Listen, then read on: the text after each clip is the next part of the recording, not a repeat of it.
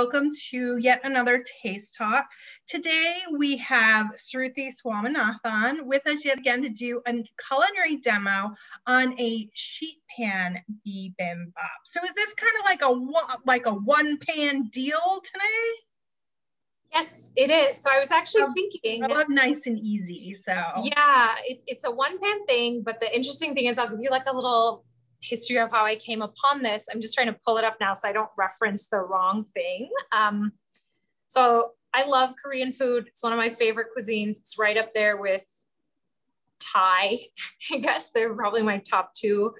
And um, when I, I always enjoyed bibimbap, which is what we're making today, which if you're not familiar is basically a rice bowl with an assortment of things around it, right? So it's um, a rice bowl with typically made with like cold or day old rice because it just tends to congeal better and kind of hold better.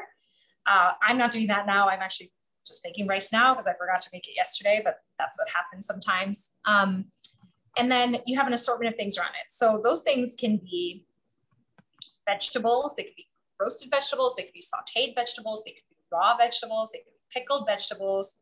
They could also be meats. Um, today's version is going to be a vegetarian bibimbap. So I'm not going to have any, um, any meats in today's version, but you can easily add a meat here. And you'll see as with a lot of my recipes that I talk about, um, super easy to customize, easy to kind of adapt to what you're in the mood for or what you have in your home or what you feel like eating.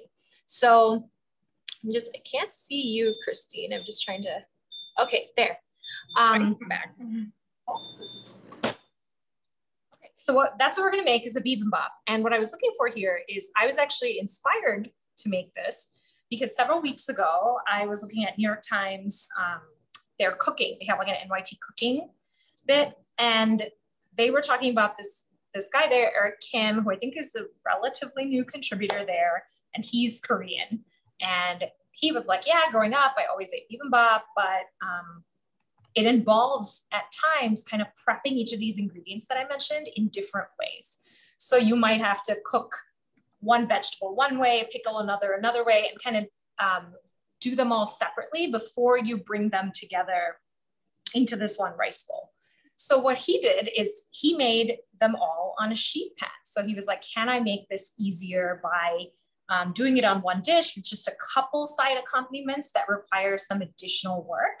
Um, and he did it. And I saw that and I was like, it surely cannot be this easy. And then I was like, I have to try this. And um, actually, this is the first time that I'm going to be making this. So you guys are going to be try testing it out with me. We love that yeah, I've never made it before, so you'll be seeing it now. Um, and so to get started, I'll let you know that, uh, like I said, it's a vegetarian dish, vegetarian version this time. So I'm gonna show you all of the things that I'm gonna add into this, which I have chopped and prepared. And um, know that you don't have to use these exact things. This is just an example of the kind of things that you can use. So let me pull this down and show you what I have. Can you guys see that? Yeah. Okay, so what I've set up here is an assortment of veggies. All of these are things that I basically got at the farmer's market this weekend. I just decided to go on a whim and just bought what looked good. And this is what I ended up with. So what you have here is I'll start right here is you have some purple carrots, which I've peeled, but you don't necessarily have to peel them. The reason I peel them is because they had some like roots and stuff coming out of them and I didn't I, I just didn't want to deal with that, especially because it's the first time I'm making it. Uh, and then here you have some summer squash, uh, the green and the yellow variety, which they were pretty small. Let me see if I can show one to you. Once I got these, like this size. The biggest ones were like that, and the smaller ones like that. So depending on the size of them, I either just cut them in half or I kind of cut them in quarters lengthwise and then in half again. Um, and then here you have what I'm probably most excited about is oyster mushrooms. So let me show them to you up close. They're beautiful. yeah, shaped like an oyster. Um, and I know mushrooms absorb a lot of water, but this one I like rinsed it off really quickly. And it, I mean, when they say mushrooms are like a sponge, they were not kidding around because it just absorbs so much water. And then I just spend a bunch of time like squeezing it out, but then getting the shape to look nice again. like dabbing it with the dishcloth, etc. But yep, these are oyster mushrooms. You can use any kind of mushrooms you like. I also have cremini, but I'm deciding to use just oyster for these. And then here you have two kinds of radishes. So these radishes were pretty big at the farmer's market. So this was actually a purple radish. It was almost the color of this carrot. And when I cut them, it has these little concentric circles in there. It was white, mostly white on the inside. It has some purple. And then I also found these golden ones, which you can kind of see the lining in them a little bit. So I'm using two different kinds. i have actually never tried these golden, or sorry, did I say radishes? Yeah, are they beets? I meant beets. I did not mean radishes. I meant beets. Sorry about that. That's okay. Two different kinds of beets, um, the purple kind and then the golden kind. I've never tried the golden kind before, so I'm kind of curious to try that. So these are most of the accompaniments that are going to go um, on the rice bowl once they're actually, once it's actually done. In the meantime, so what we're gonna do with all these ingredients is, um, called sheet pan bibimbap, so that's all we're gonna use. So I have a sheet pan that looks like this. I had this for I don't know how many years. And what I'm gonna do is arrange these veg that I've cut up in kind of their distinct groupings onto the pan.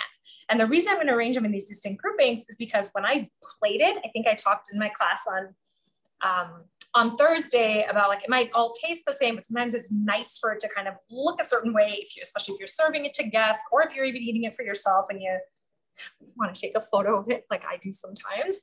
Um, but just for presentation purposes, I don't want to kind of jumble everything together and cook it. Also, because I have some lighter colored and some darker colored things in here. I don't want the colors to kind of muddle together and get kind of like muddy, I guess. You know, I want them to kind of stay pretty bright and fresh. So I'm gonna um, point these down again and show you what I'm gonna do here. So here's the sheet pan. First thing, I'm just gonna drizzle. I'm not gonna put any foil or parchment or anything on here for this because we're, we're roasting. And in this case, I really want it to make contact with this pan. So I'm just gonna kind of drizzle a little bit of oil. And then I'm gonna take a brush. You'll see we're gonna coat kind of the vegetables in that too, so we may not always need it. I'm just gonna kind of coat it this way. So we have minimal sticking.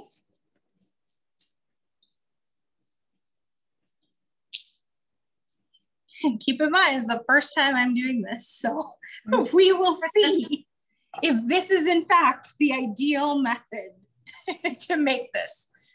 Okay, um, then I'm just gonna kind of put my vegetables in here. So first I'm just gonna put in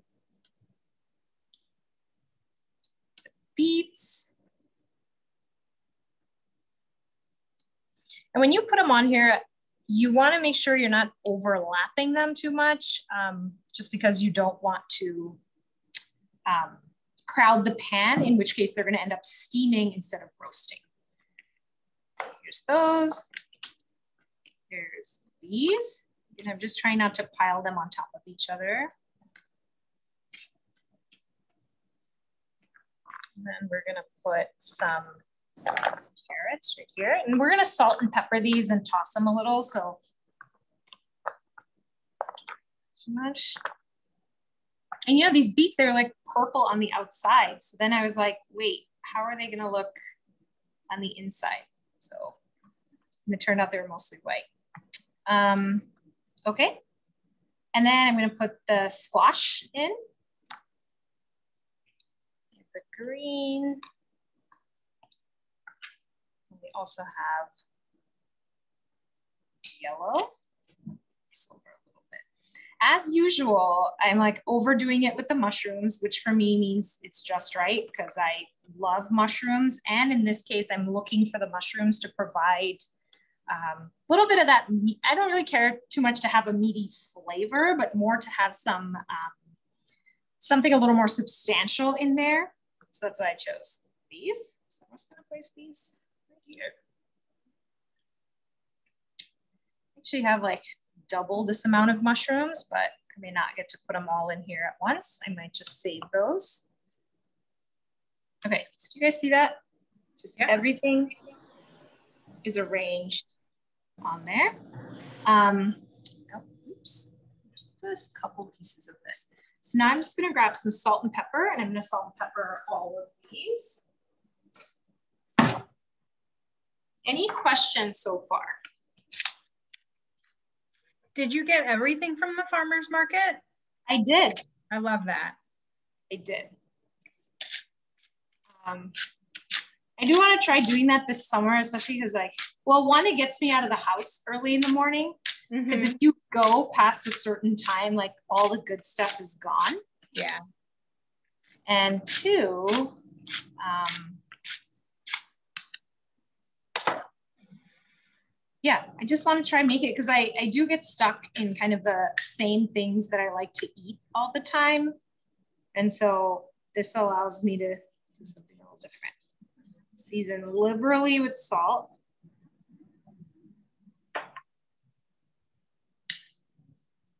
Quick check that I wasn't using sugar instead of salt. Definitely important to check that. I mean, I've done that before, so just a little light drizzle on top. And that's really it for the seasonings. You know, in the past, I've not when making this, but when making other things, like I'll add a lot of like extra um, aromatics and herbs and mm-hmm. spices and all of that. But you don't really have to do that here. Um, so you are looking a little bit for the flavor of these vegetables to come in. And I will say, maybe if I hadn't gotten these at the farmer's market or I didn't know they were, you know, plucked three days ago or something like that, I would try to dress them up a little more. Mm-hmm. Do you know what I mean? Like maybe I would try to be like, oh, these don't taste good on their own. So I want to try to, you know, help them out a little bit.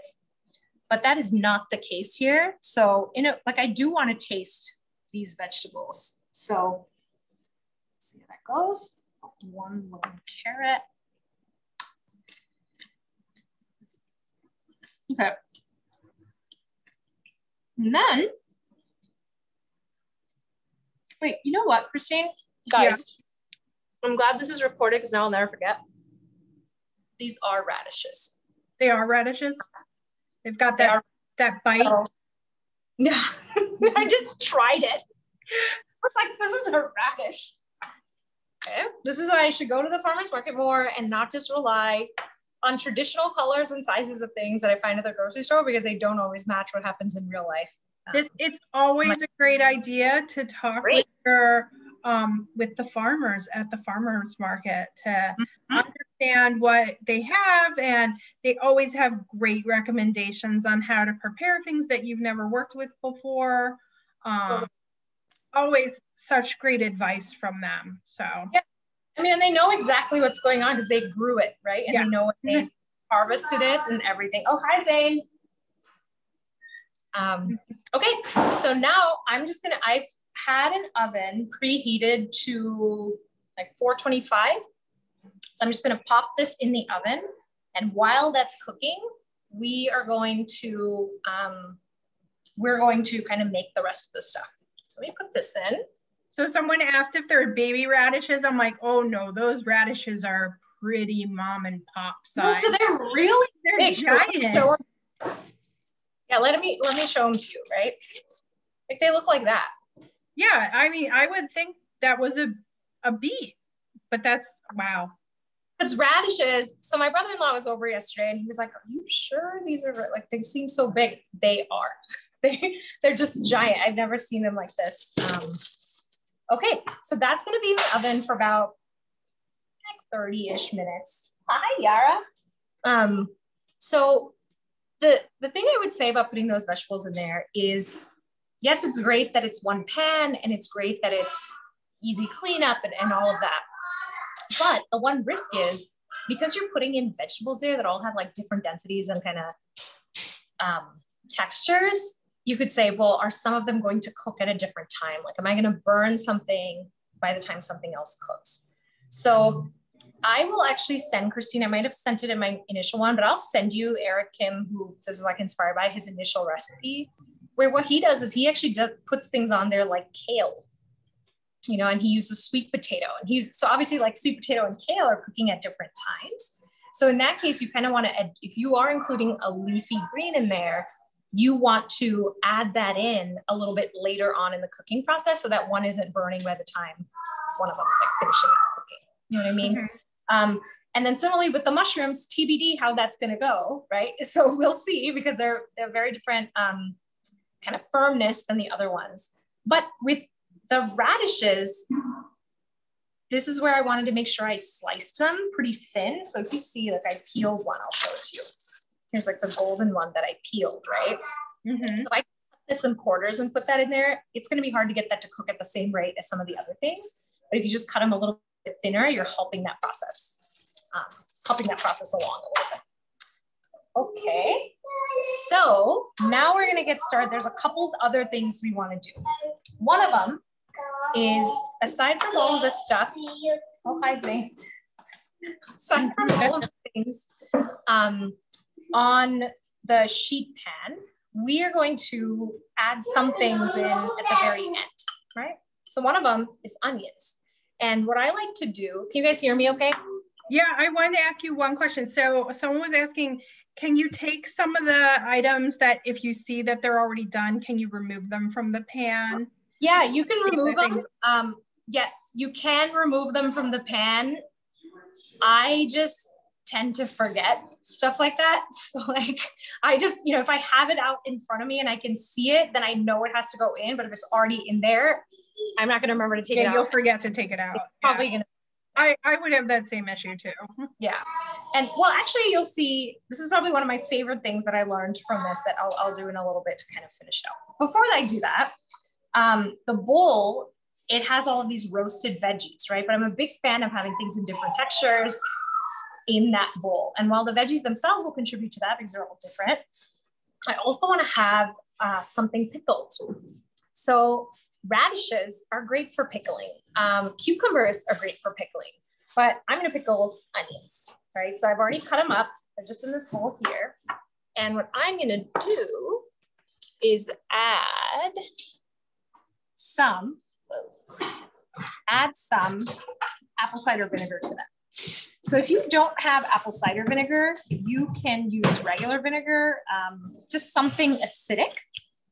So I just got this. I'm gonna use this here. And this is a way to kind of quick pickle things. So if you don't have hours and hours or days and days to do it, this is a way to kind of quickly pickle it in like 20 minutes. So I'm just gonna fill this up enough. And this will settle a little bit. And then what I'm gonna do is add some sugar to this as well. Okay.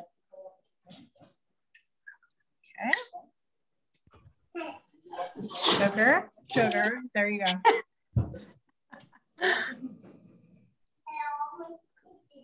Okay. Make sure you put that lid right back on there. yeah, I know. Yeah, that's a good point. Yes. And then I'm just going to use a fork to just kind of process it. I know it seems like not all of it is immersed, but it will. As the um, acid kind of does its job, the onions are going to get a little bit softened and they'll kind of settle into it kind of do this and then just set it aside, right? And you want to do this, you could even have done it before you set up the tray with all the veggies, but I wanted to get that in the oven.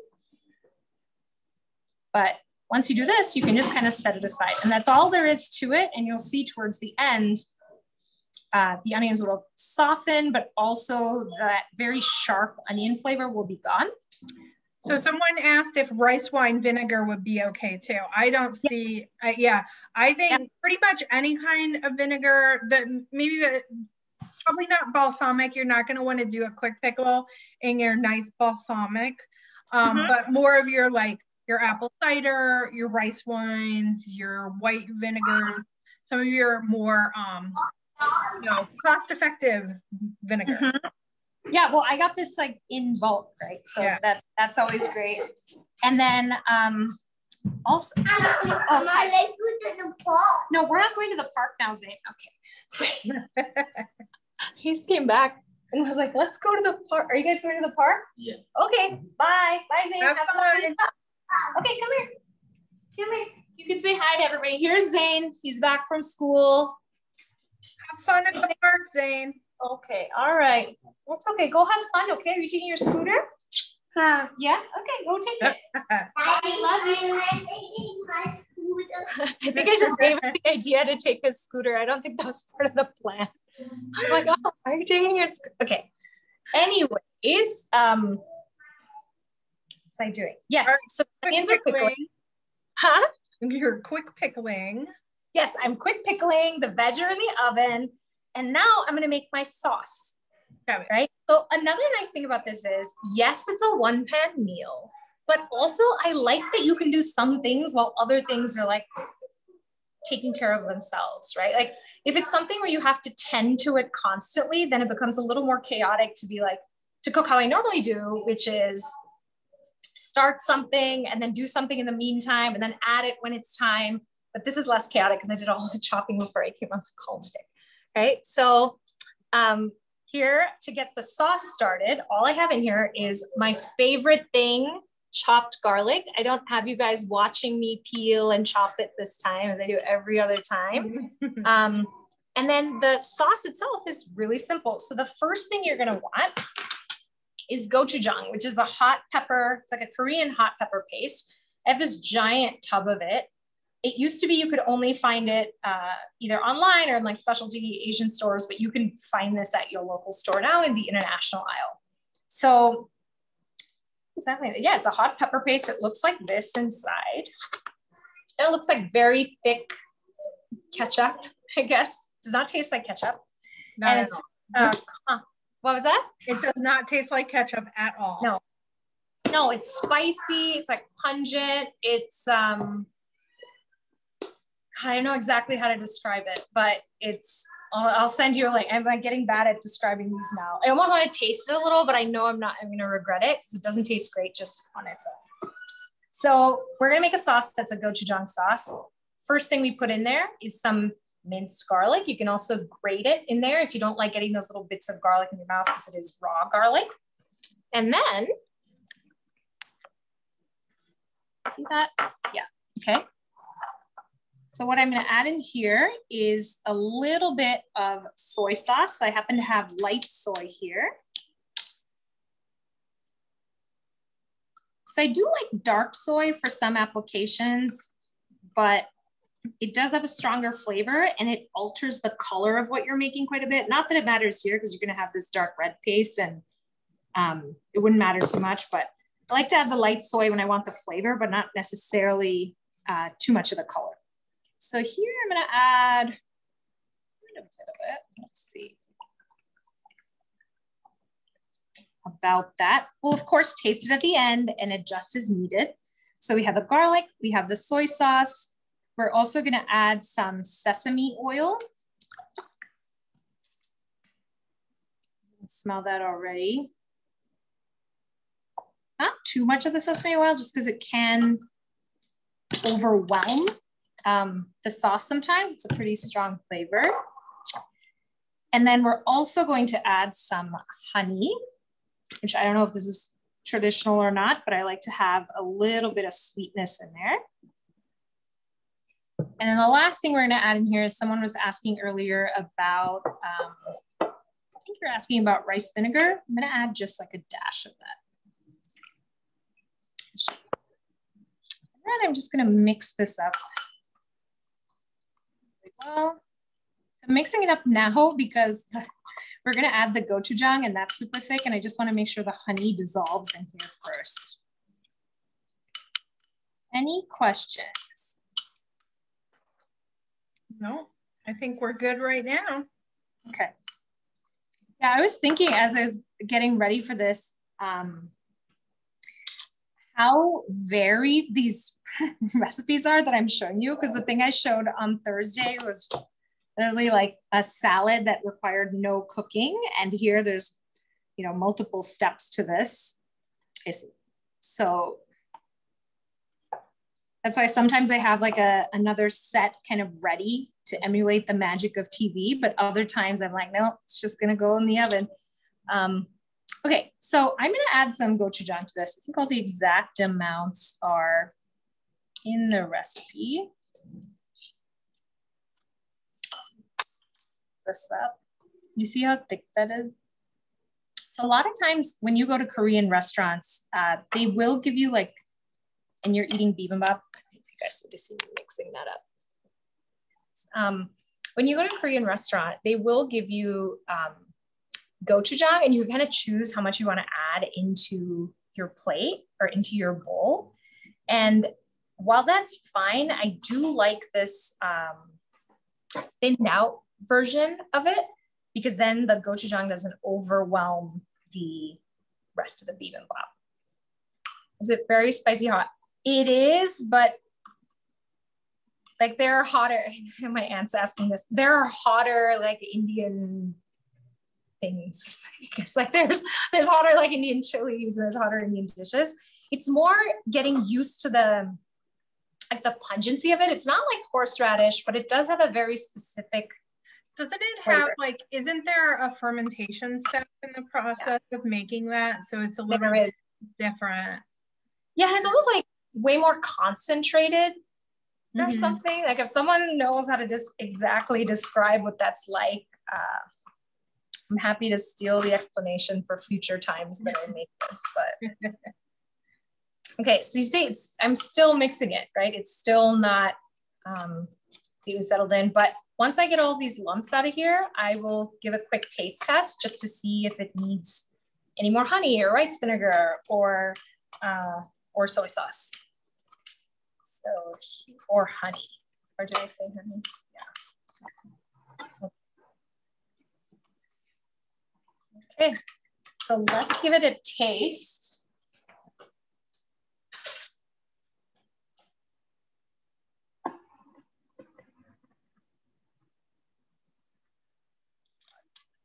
It's really spicy. It's very good.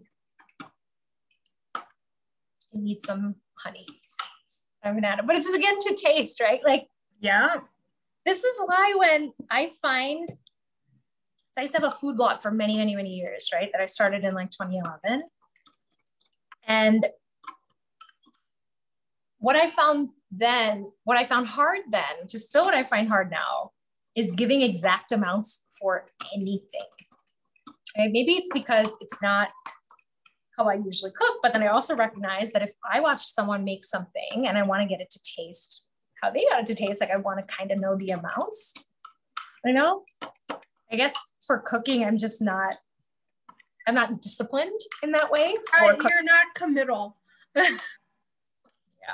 I, I, I agree. Okay, so this looks great. You see that? It's like pretty thick, but that's how you want to be. And this may not look like a lot of sauce, or I don't know, maybe it looks like a lot of sauce to you, but when you put it on the actual, in the actual bowl, um, you don't need a lot of it. You know, like adding a tablespoon of this is probably going to be plenty. So just keep that in mind. And then if you make too much of it, all of this stuff can sit in the fridge. You know, the gochujang's in the fridge. There's nothing in here that just because you made the sauce this way, it's going to go bad super fast. The only thing is the raw garlic. So if you make this sauce, I would try to use it up within like four to five days and it should be okay. Okay. All right, here's the sauce. So that's ready. Would you do the sauce, um, is the sauce to be served room temp, cold, or warm when you eat the dish and assemble everything? man, I don't know. I, I would just say room temperature. Yeah. I cold because like you're making everything else. You're going through you're going through the effort of like making everything else warm. And I don't like to have I like to have bibimbap when it's like nice and hot and toasty.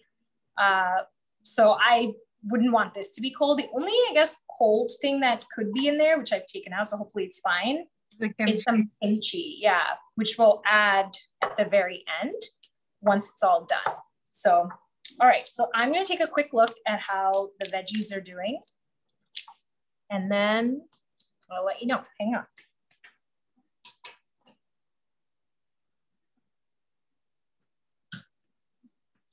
They look great. Um, I'm gonna just rotate the pan. You're gonna have to trust me. You're gonna have to wait till they're all done. Yeah.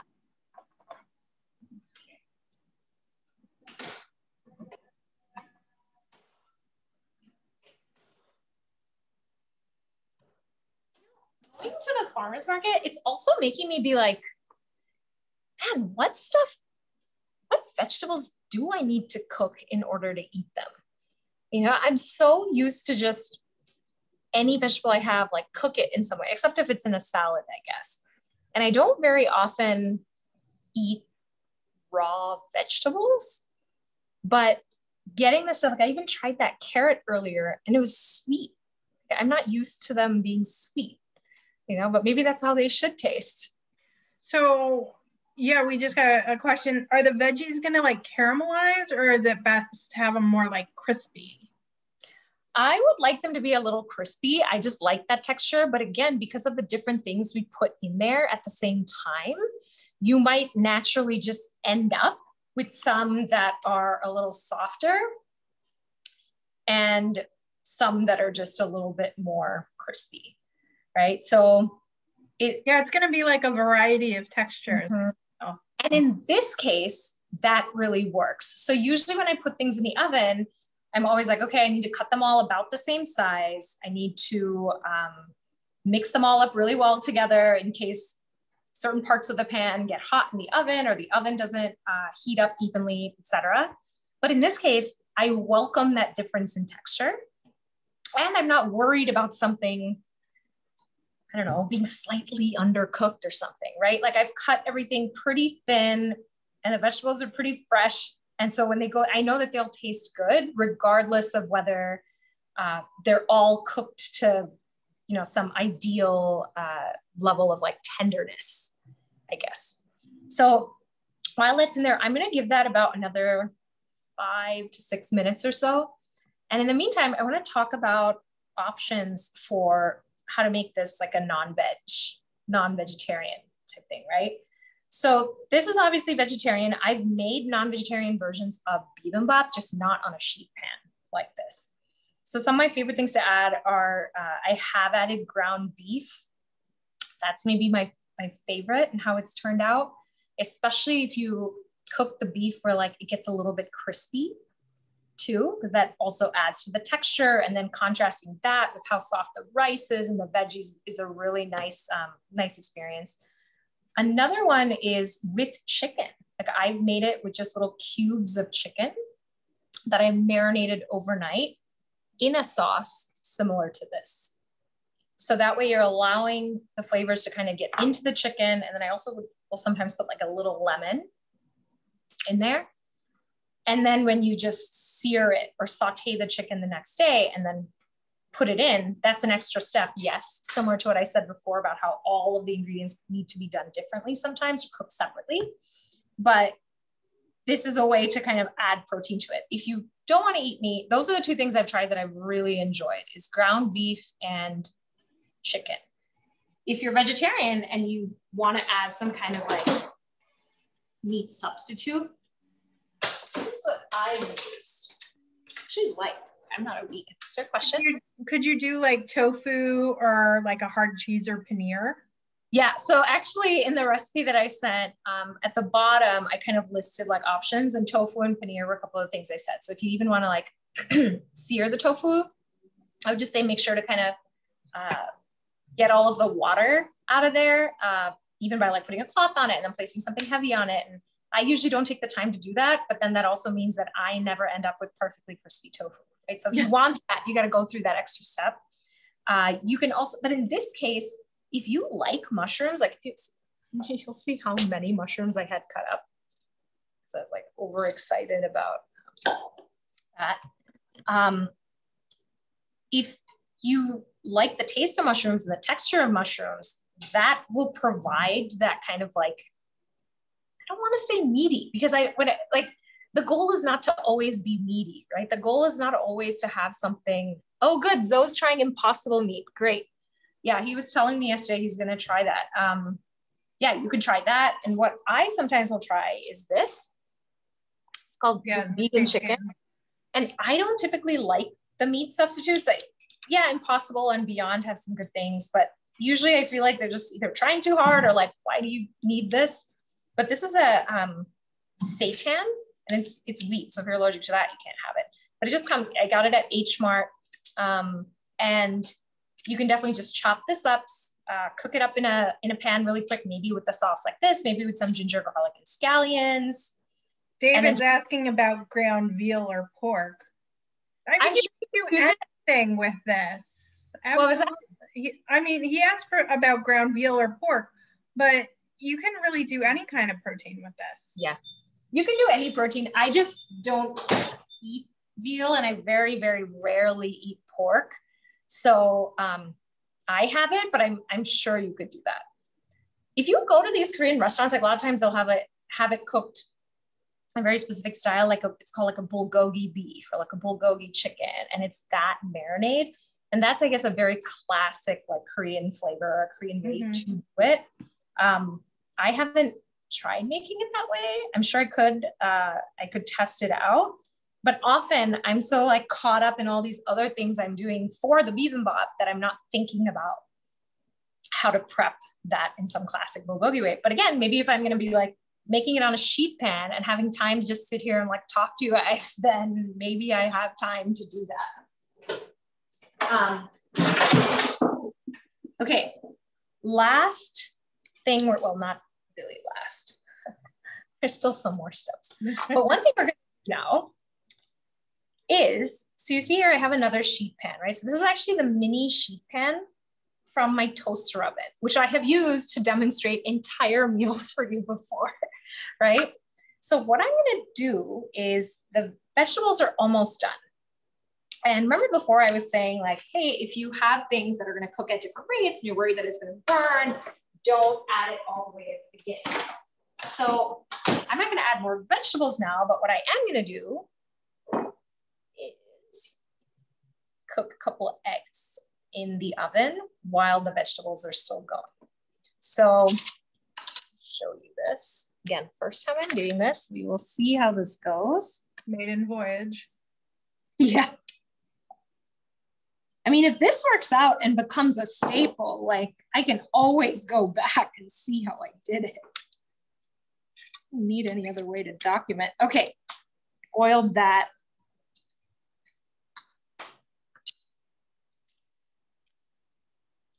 Okay, let's see what shape that, oh, oh, that's not bad. Oh, a little bit like, oh, that's not bad. That's not bad. I'll take it. Okay. Then I'm gonna crack another one in here, just like that. So I've cooked eggs in the oven before, but it's usually in the form of like a frittata. Or yeah, or like a quiche. Or yeah, so I've never made it. Yeah, so now what I'm gonna do is I'm just gonna take this, put it in the oven for like three to four minutes, and then just cross my fingers that it comes out that perfect consistency where like the whites are set and the yellows are just like well, runny, like, like, you know, that perfect texture that I like. So I'm gonna put this in the oven and then if the veg are done, I'm actually gonna take them out and I'll show them to you. Excuse me, excuse me, Yara. Thank you. Excuse me, it's very hot.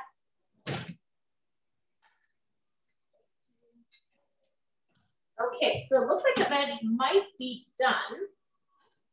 It's gonna set a little thing here. What was your oven temperature again? 425?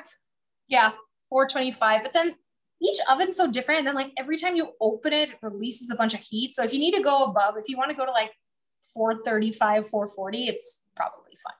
Pro tip, make sure you have um, a thermometer in your oven so that you can see if it's actually calibrated properly when you're cooking. So keep the oven the same for the eggs. You're not changing that temp. Yeah. I'm just keeping it, but I'm just going to, well, I can see it. I left the light on so I can keep your eye on it. this is so funny. So, you know, I like put everything on here and I was like, oh, there's no room to, like, but everything just shrinks down, right? Because all the water is coming out of it. Everything just shrinks down and you'll see how much space is left on this now and the different stages of doneness for all these. Some of them definitely little crispier than I would like, but that's what I have extra beets for. Let me show this to you without burning myself. Okay. I think I've burnt myself on these videos like a few times, so I'm trying to Be be very cool about it. Yeah. Okay. So here are the veg, right? Can you guys see that? Yep. So we have the radishes here. Like this is obviously not what you want. No. You even see that? Okay. So that means that piece was too, because the other ones seem pretty okay. So it probably means that piece was too small slash too thin. This seems like the right temperature and amount of time for the squash, both the yellow and the green. Carrots Carrots look look good. good. Yeah, carrots look good. And actually, I love the mushrooms like this. Like they're nice and crispy. So now I know if I want them to be a little chewier, then I can just either put them in a little later or take them out a little sooner. Right. And I, like I said, I still have all these mushrooms. So you better believe that right after this, I'm going to be testing out what happens when I put it in for different amounts. So we time. have someone asking when you should be cooking the rice. Yeah. So the, this is what I did. Like in the, in the um, recipe that I sent you, I was like, I was like one cup cooked rice, as if everyone just like has that sitting around. Um, but yeah, I let me show you this. We're in our household, we are rice cooker people. So it's always like, oh, there needs to be rice, throw it in the rice cooker and go. So Oh, that's really good. Um, yeah. So I'm gonna show you something. I do have a rice cooker. I have like an electric rice cooker. I almost never use it. When I went to college, my mom got me this. It's this like plastic rice cooker. I get like I don't know what. And so I just make rice in this.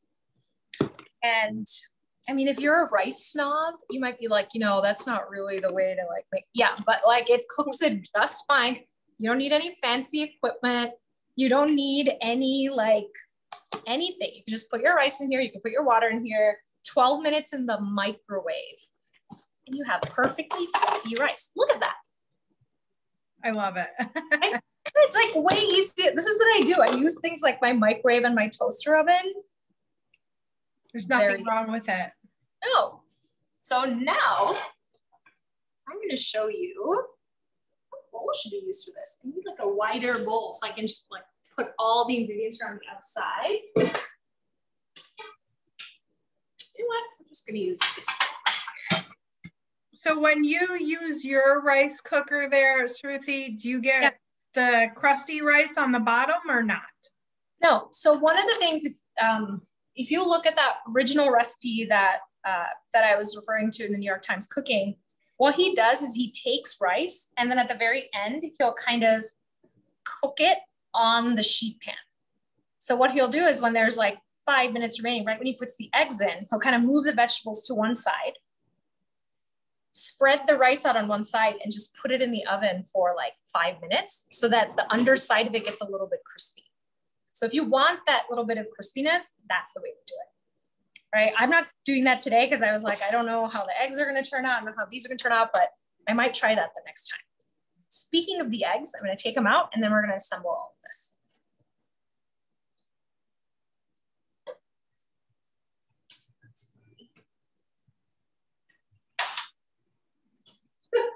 This is so funny, guys. Look at this.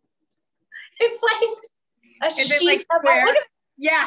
how did he get it to just like so he made it and they just stayed in little perfect egg shapes so i don't know how he did that but you know what we're I kind of like, I kind of like your rectangle of eggs though. no never made rectangle eggs before Like You- fold them underneath.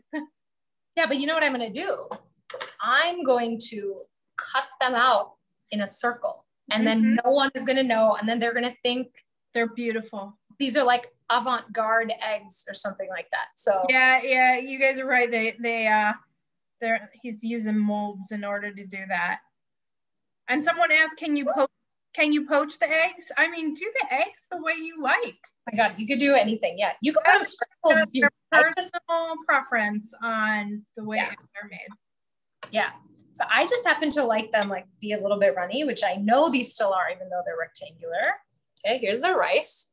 And if you have like colder, this is where asking about the temperature. If you have like colder or room temperature rice, or at least rice that's a day old that you can warm up a little bit, that'll probably work great. But here I purposely made this rice with a little lower water to rice ratio than I would so that it's not soggy and it's not like super clumpy in some way. Like this is the right consistency that I want. But I bet, bet this would be even better tomorrow when I use this rice in terms of the texture of the rice. Okay, so let me show you this. How are we doing on time? Uh, okay. 517. Great, okay. So here's the rice. I'm just gonna put a little bit in here so I can show you what it would look like. Now we're gonna assemble everything on here. So let's try aside from these like very blackened radish chips, the other ones are actually quite, they're a little bit like chewy on the inside. So I love like that color. Like that's what I want mine to get to. Mm-hmm. But if you want yours to even get to that state, you could cut them a little bit thicker. You know, and if you cut them thicker, they'll take longer to cook. And then um, we'll have a slightly different texture. Okay, here's some of the green squash gonna put some of the yellow squash in here. I'm gonna have to like take a pic of this and send it to you after, Christine. But that, try that. Man, and the squash is really good. Okay. Here are the carrots. I kind of just want to snack on these now. Did I get everything? Oh no, the mush. Look at that. Just like That's really good. Almost like little chips. I'm gonna break them apart like that. And it's nice, they like kind of maintain their shape a little bit too. Okay, so here's this bowl. It's like that. And now I'm gonna cut out little circles out of my eggs. And then I'm gonna add these perfect eggs, perfectly like round eggs on here. Okay. Oh, at least they're not stuck to the bottom. Thank God. Okay, that would be just. Yeah, that would be a hiccup. Yeah, Christine's like, yeah, I wouldn't even post this video if that was the case. Oh, maybe we're gonna have rectangular eggs after all. Here we go. They're fun though. Look at that. I like it. Then you're gonna put the rectangular egg on top, just like that. And I like this because for me, the best part of this bibimbap is the mushrooms and it's like a nice little surprise under the eggs. Okay. And then move this out of the way so I can show you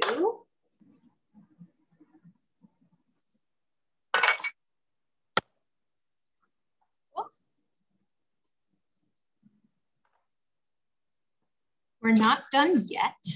We are going to add a couple more things. So I'm a fan of like color. Here we have some scallions that I've just diced up.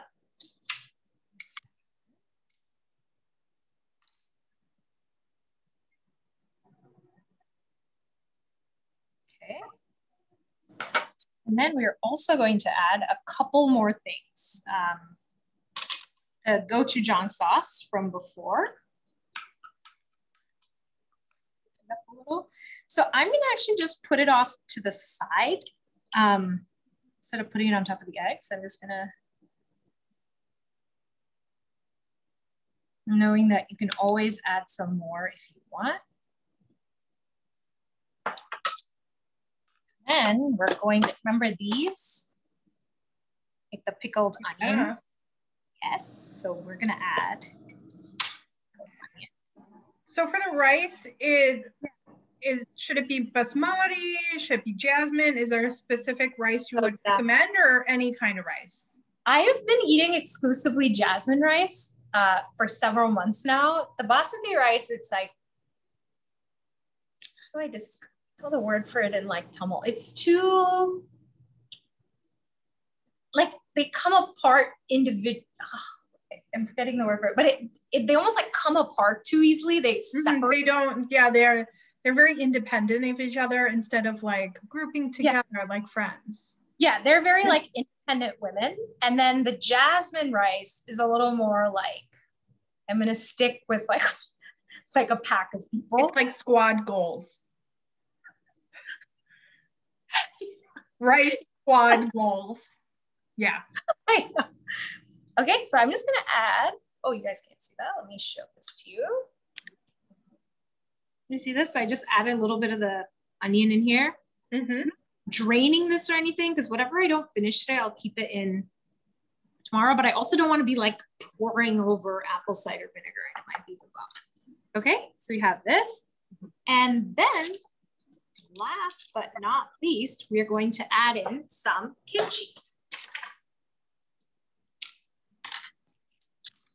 I don't know if anyone's ever tried to make their own kimchi at home. I'm pretty sure it's like cabbage.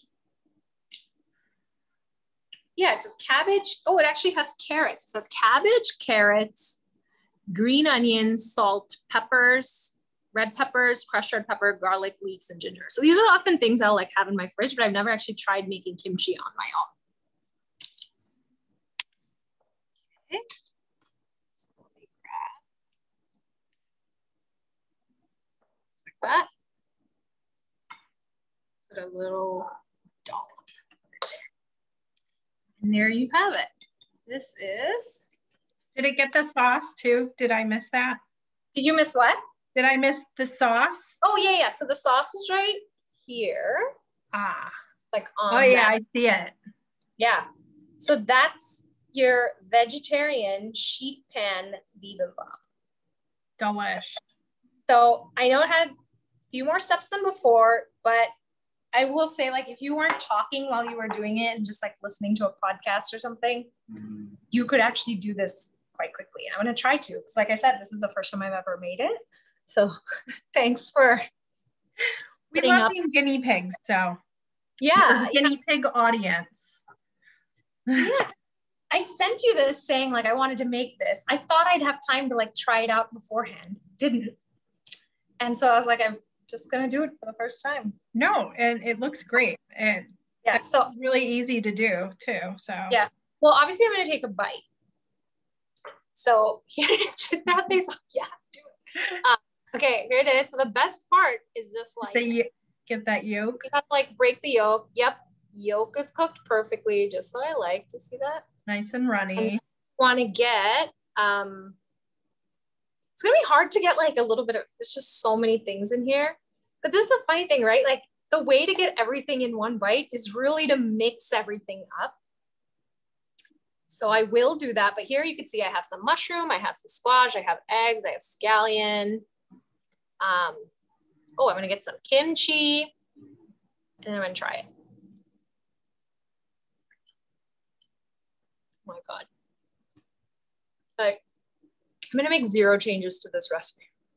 No, well, I mean you have so many great flavors going on in there. It's nice because it's like you've Mm. made it where it's the the egg is the protein and everything else is really light. So again, this is another great dish for summertime when you don't want to be eating too heavy.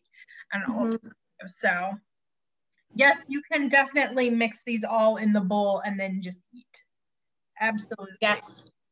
But I say like the nice thing is I feel like I'm always gonna do this because I'm even gonna eat this. Like, it's not bad. It's not bad. It's just like a crispy, crunchy thing. But the nice thing is like the summer squash that are in there have like sweetened a little bit. And the carrots have sweetened it even more. Then the mushrooms haven't sweetened, right? So they've like deepened in flavor than if I were just to saute them or kind of like just cook them quickly in a pasta because they've turned into things like that. it reminds you of a seven layer dip. Yes. Oh, that's a great compliment. Love seven layer dips. So yeah, that's it, guys. I'm, I'm gonna try to. I'll probably like make another bowl and try to kind of put things on there in a more pretty way. I'll take a picture and I can send it to you guys, but let me know if you try it. Yeah, Yes, looks great. So much easier preparing it in traditional bibimbap stone dishes, which his spouse has used. Yeah, Claire's spouse has cooked it before. So yeah, this is a pretty, I mean, it's a very easy way to do it. Definitely a lot of your time is going to be mainly your vegetable prep. Exactly. And even there, I'm trying to think like, if you don't peel some of the vegetables, right? You may not have to peel the radishes. We not have to peel the carrots because sometimes after they cook, the skins just soften. Mm-hmm. So if you don't want them, you can always take them off at that point or just eat it because really the peels is where the peels are a lot a lot of nutrients. Yeah. So I might try that next time. Just try because I didn't peel the squash, for example. Um, but I might try it even you know not peeling the carrots and not because any of those things you do is just makes it less work. Mm-hmm. So yeah, that's it. Well, does anyone have any other questions at all? Um, and I've sent this. Uh, anyone who is on our email list, I have sent this recipe out to you. If you don't receive it, please let me know. I know some things have been popping into people's junk mail and spam mails. I hate being there, but I want to make sure I can get you guys what you need if you want to recreate these dishes on your own. Um, Sruthi, thank you so much. This was a lot of fun. Oh, yeah, this is so fun. Thanks everyone for coming. Thank you, Claire. Yeah. That was very sweet of you to say. yeah, thanks everyone. Yeah, thank you everyone. Everyone have a great evening. Have a great Monday and we will see you again soon. All right, see ya. Bye. Bye.